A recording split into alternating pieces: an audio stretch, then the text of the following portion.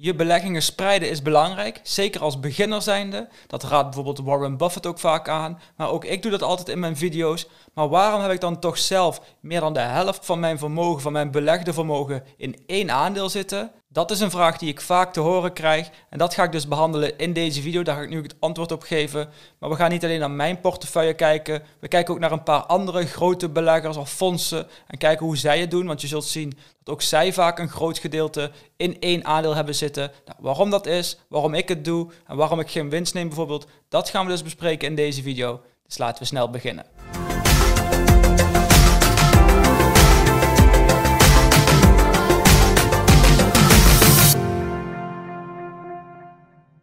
Leuk dat je weer kijkt naar een nieuwe video van een passiefinkomen.nl. Op dit kanaal maken we elke week drie video's die gaan over persoonlijke financiën, investeren en beleggen of passief inkomen. Nou, nu gaan we dus eigenlijk kijken naar mijn spreiding of juist mijn gebrek aan spreiding misschien wel. En dat heeft natuurlijk te maken met mijn grootste positie en dat is Tesla. Tesla is een aandeel waar ik het vaak over heb. Natuurlijk juist omdat het mijn grootste positie is. Dan krijg ik natuurlijk vanuit jullie ook vaak vragen daarover. En dat heeft onder andere dus te maken met die grote positie. Want inmiddels is het meer dan 80.000 euro van wat ik heb belegd bij de Giro. Is het aandeel Tesla van het in totaal iets meer dan 130.000 euro. Dus eigenlijk Bijna 60% van mijn beleggingen bij de Giro zitten in één aandeel. En dus komt heel vaak die vraag: waarom zo'n groot gedeelte van je vermogen in één aandeel? Nou, dat heeft in het geval van Tesla vooral te maken met een lage gemiddelde aankoopprijs. Want ik ben begonnen met beleggen in het aandeel Tesla in 2017. Het eerste aandeel dat ik kocht was voor 345 dollar, dat weet ik nog.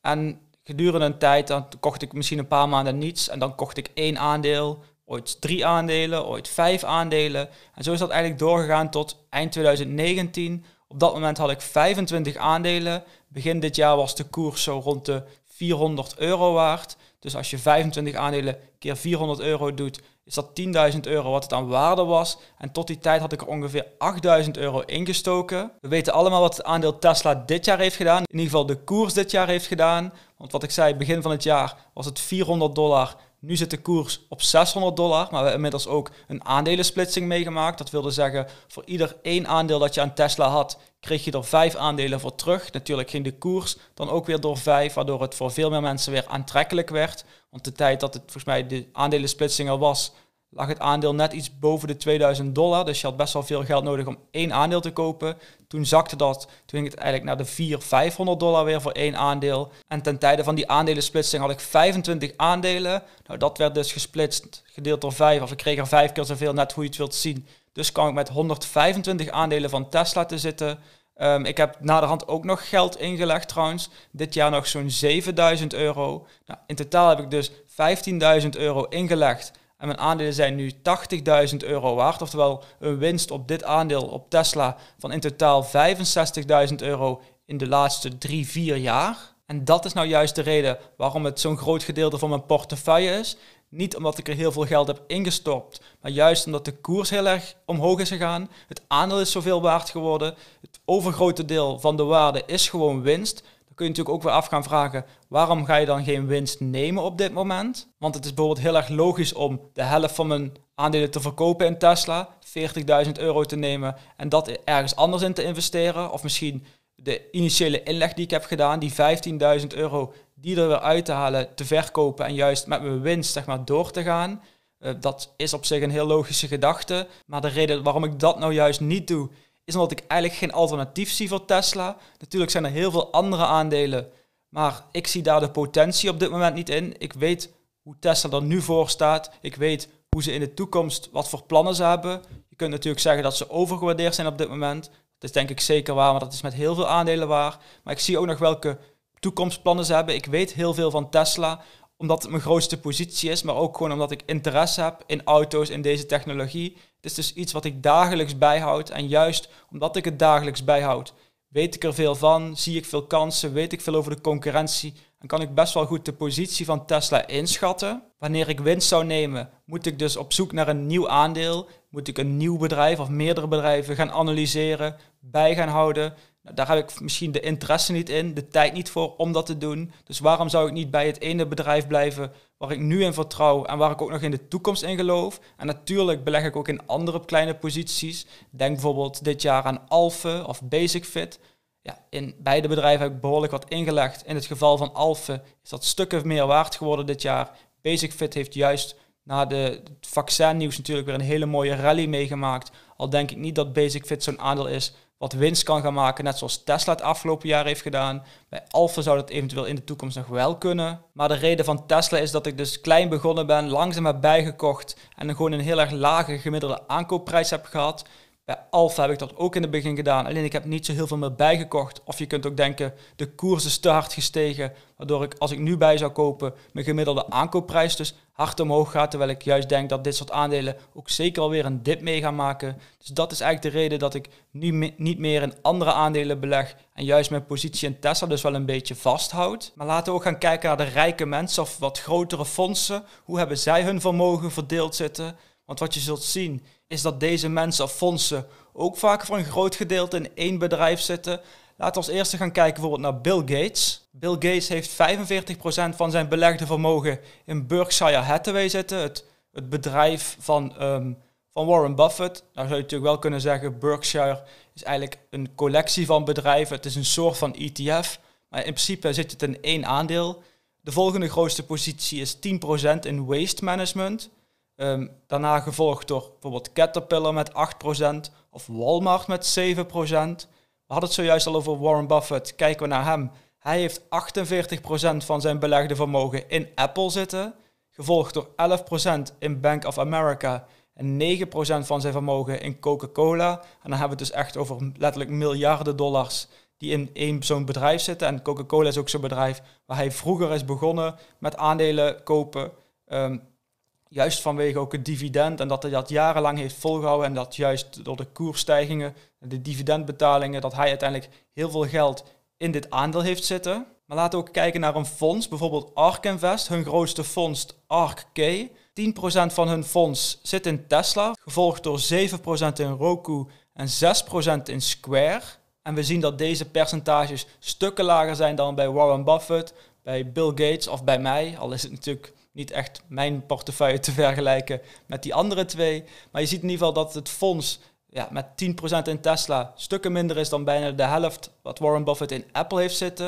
En dat heeft er vooral mee te maken met de regels van het fonds. Het fonds belegt geld van andere mensen en zij willen wel die risicospreiding aanhouden. Dus iedere keer als Tesla bijvoorbeeld in waarde stijgt, dan overstijgt dat de 10% van de waarde van Tesla binnen dat fonds dan zijn ze dus eigenlijk verplicht om wat aandelen te verkopen om weer onder die 10% te zitten. Zij kopen dan van wat ze zeg maar, binnenhalen met het geld, daar kopen zij weer nieuwe aandelen van. Maar het is ook weer zo dat wanneer Tesla dan weer in waarde daalt, de koers daalt, dat ze natuurlijk weer bij gaan kopen. Want ze willen niet eigenlijk Tesla verkopen omdat ze er niet meer in geloven. Het heeft juist te maken dat Tesla een te groot gedeelte van hun portefeuille wordt. Dat is altijd belangrijk om te weten, want je ziet nog wel eens ooit video's van, oh, ARK verkoopt nu dit, is dit het einde van dit bedrijf? Nee, het is misschien gewoon dat de koers zo ver is gestegen dat ARK wel hun winsten neemt. Dat is bij een fonds dus anders dan bij ja, personen, personen zoals Bill Gates of Warren Buffett. Want zij zijn vaak met een groot gedeelte van hun portefeuille in één bedrijf. Dat kan zijn gekomen waarschijnlijk ook omdat ze dus klein zijn begonnen en jaarlijks bij hebben gekocht. Dividend dat ze hebben ontvangen, opnieuw hebben geïnvesteerd in het bedrijf. En door de jaren heen groeit hun positie op die manier. Het is natuurlijk ook zo dat ze daardoor um, ja, minder bedrijven hoeven bij te houden. Je wilt niet misschien al je tijd besteden om bedrijven te analyseren. Maar als je een paar goede bedrijven hebt die jij wel kunt analyseren, die jij begrijpt waar je dagelijks of wekelijks alles over bij kunt houden om te bepalen of jouw positie nog steeds goed is, dan is dat gewoon heel erg makkelijk. Terwijl je er op hetzelfde moment gewoon heel veel geld mee kunt verdienen. En voordat we verder gaan wil ik je vragen, vind je het een leuke, interessante video? Geef zeker even een duimpje omhoog, dan weet ik welke video's jullie leuk vinden. Maar je helpt ook het YouTube kanaal, want deze video wordt aan meer mensen aangeraden. En wil je zelf nog meer video's zien, maar ben je nog geen lid van het kanaal?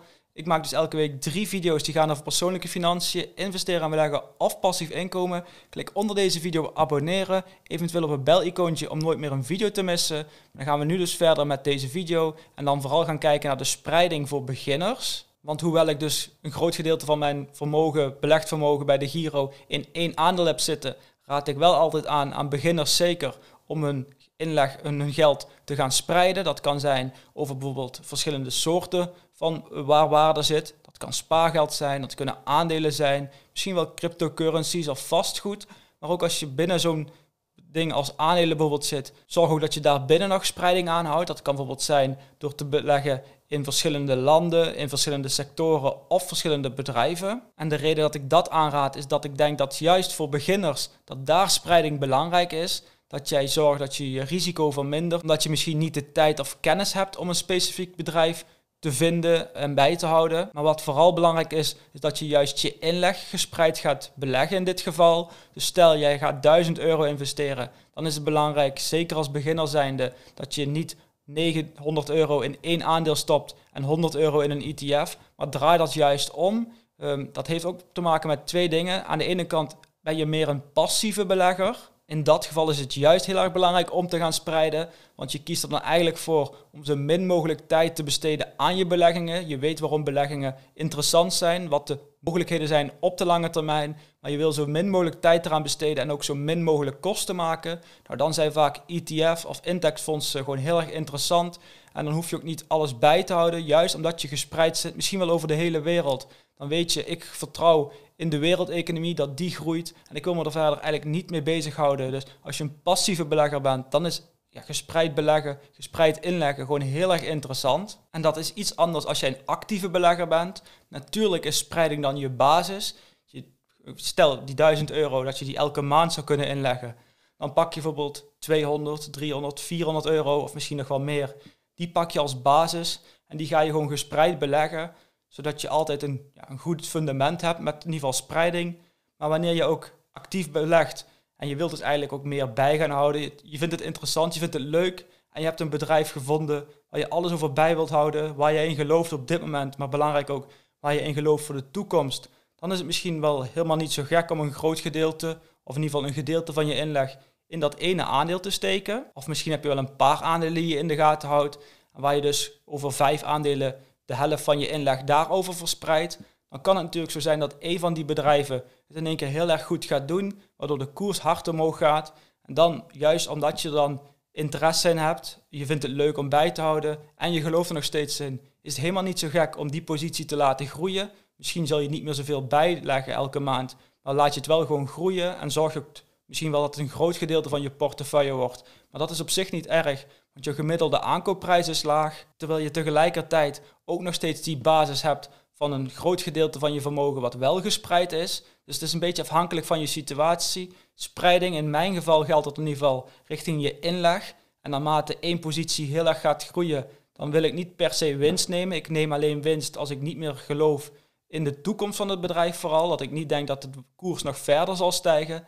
Uh, dat is vooral voor mij een moment om winst te nemen. Maar zolang dat niet het geval is, laat ik het lekker zitten. En zeker ook wanneer ik geen alternatief zie. Want waarom zou ik een gedeelte van in dit geval Tesla verkopen om vervolgens in een ander bedrijf te investeren wat misschien wel minder rendement maakt, wat ik niet interessant vind om te volgen, waar ik minder in geloof, of juist dus daardoor een groot gedeelte richting die basis, richting die spreiding te doen, waar het rendement gewoon lager is. Maar ja, dat is hoe ik erover denk en ik weet vast en zeker dat enkele van mijn kijkers er totaal anders over denken. Maar ja, iedereen heeft natuurlijk zijn eigen mening, eigen ervaringen misschien ook wel. En vooral dat is wel interessant om te horen. Dus laat vooral weten wat jij ervan denkt of wat je eventueel hebt meegemaakt. Heb je zo'n positie gehad waar het in één keer heel veel waard werd en waar je achteraf misschien wel spijt had om het, dat je het verkocht had? Of misschien heb je juist wel andersom, dat je juist uh, spijt had dat je het gehouden hebt. Um, ja, dat kan allemaal natuurlijk zijn, want koersen die gaan op en neer. Je kunt van alles meemaken. Dus dat vind ik vooral leuk om te horen. Laat dat weten in de reacties onder deze video. En dan zijn we daarmee aan het einde gekomen van deze video. Wil ik je weer bedanken voor het kijken. Vond je het een leuke, interessante video? Geef dus een duimpje omhoog. Dan weet ik welke video's jullie leuk vinden. Kan ik meer van dit soort video's maken, maar helpt ook zeker dit YouTube kanaal. Want deze video wordt aan meer mensen aangeraden. Wil je zelf nog meer video's zien, maar ben je nog geen lid van het kanaal? Ongeveer 1 op de 2 kijkers is nog geen abonnee. Ik maak dus elke week drie video's die gaan over persoonlijke financiën, investeren en beleggen of passief inkomen. Klik onder deze video op abonneren. Klik op het bel-icoontje om altijd weer een melding te krijgen als er een nieuwe video online staat. En dan hoop ik jou graag bij die volgende video te zien.